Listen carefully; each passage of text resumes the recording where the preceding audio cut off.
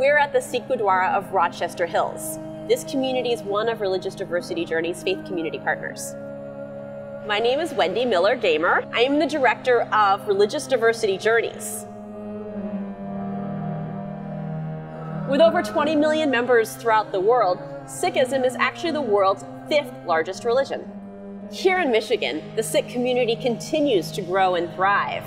There's about a dozen Gurdwaras serving hundreds of families throughout the state. Today, Kennedy, a seventh grader at East Middle School, is going to get to explore the Sikh faith by asking questions of her peers who she's going to meet soon and some of the adults in the community. Hey Kennedy, how are you today? We're so excited to have you here at the Sikh Gurdwara. Are you excited? Yeah? Before we start, um, we're gonna just walk over, take our shoes off, and cover our heads. Sound good? All right, let's go over this way.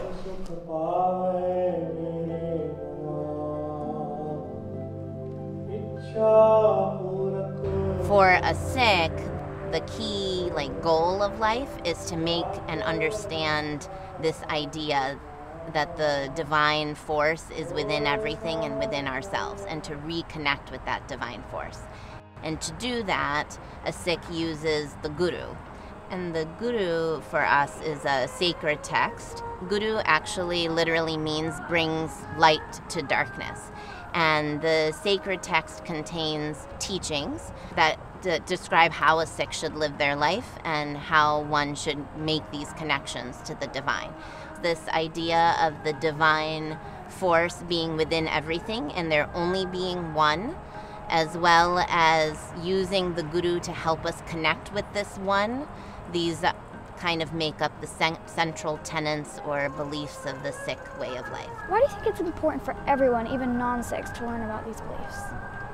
So Sikhi is really based off of platform of um, good things like kind, being kind, being respectful, doing service, um, being compassionate. These are just things that basically anybody can learn, anybody can do, and we think that it would really help build a better society. The way we focus on things like love and compassion and respect and kindness and service, it just makes our whole world better.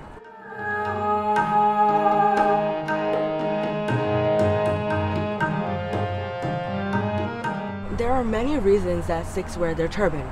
The main reasons are number one, it shows it, it shows respect to Waheguruji and it shows respect to other people.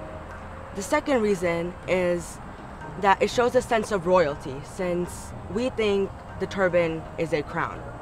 And last but not least, the third reason is that our 10th Guru, Guru Gobind Singh Ji, he didn't want the Sikhs to hide in the shadows. He wanted us to be unique and stand out. For me, it's something that's very personal. I remember my history. I remember like those giants, that shoulders that I stand on, those that came before me, that stood for certain values, and those values I'm reminded of every time I tie every single layer of my turban. Do you always wear a turban or do you take it off at home?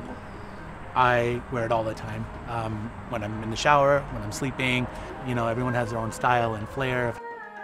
Thank you. Those are all the questions I had. Awesome. Thank you.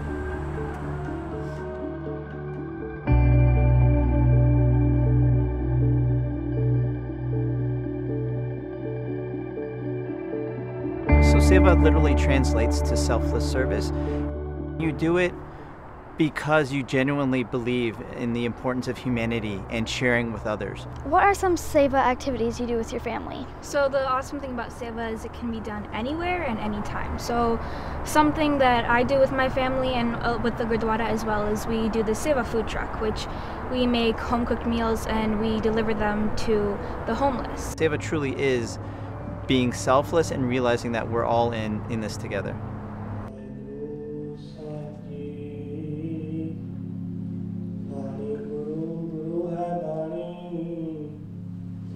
Can you tell me a little bit about this space? So this is called our Gurdwara, which literally means um, the door to our Guru. Our Guru, the Guru Granth Sahib, is the central um, focus of any Gurdwara. We have it a little bit higher as a form of respect. And then we have the congregation sitting on both sides. What does it look like to pray? Um, so basically, when we're praying, we always have our heads covered, and we're always sitting cross-legged like this. We're all sitting together on the ground as equals. We don't think that you can only pray being in one certain place. There's no restrictions, really. How does worship make you feel?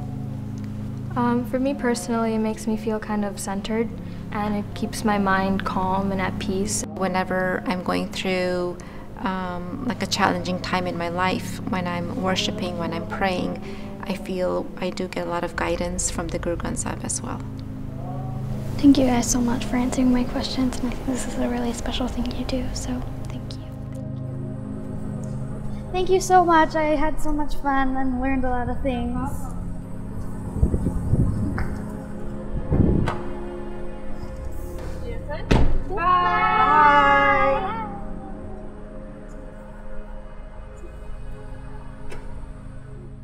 You can find more at onedetroitpbs.org or subscribe to our social media channels and sign up for our One Detroit newsletter.